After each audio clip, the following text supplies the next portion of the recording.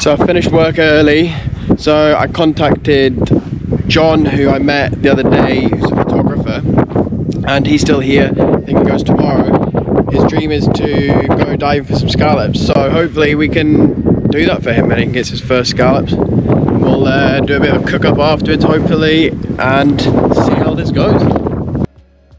So I threw John in my old Cressi wetsuit, got my weight belt, and a few spare fins, and off we went out in the search for scallops.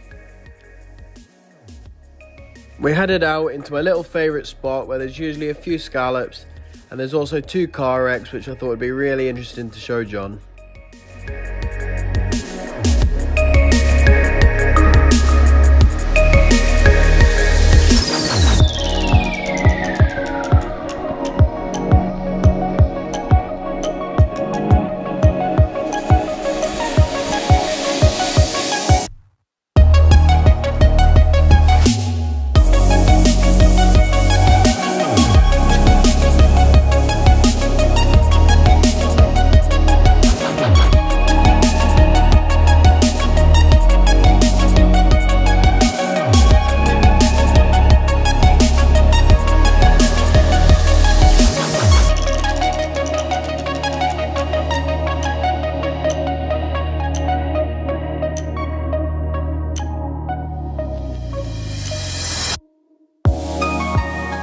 John was having a few issues with his sinuses. Nevertheless, he managed to smash the shallow dives.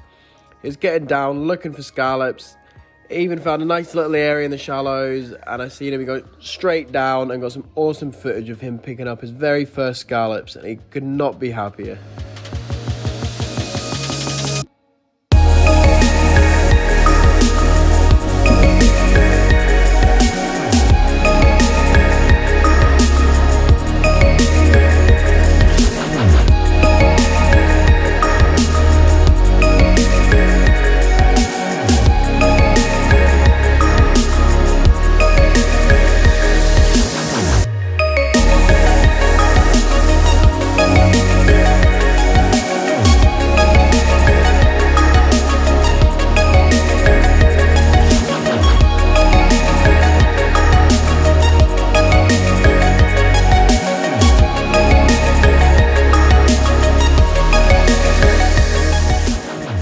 After getting some really cool footage of John having a look at the cars, I done another couple dives around 10 to 12 meters.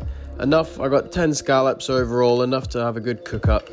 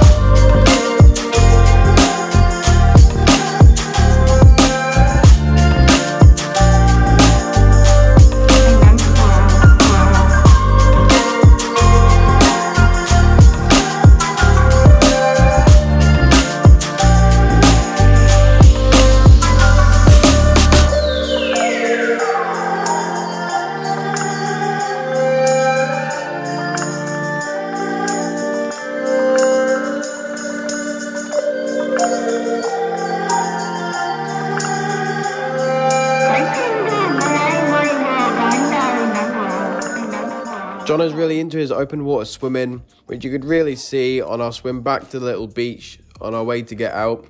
As soon as we got into the little area, you could see thousands and thousands of little bait fish, which is so cool to see.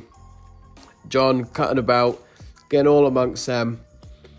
Eventually, we got out, got changed, and ready to cook up some food.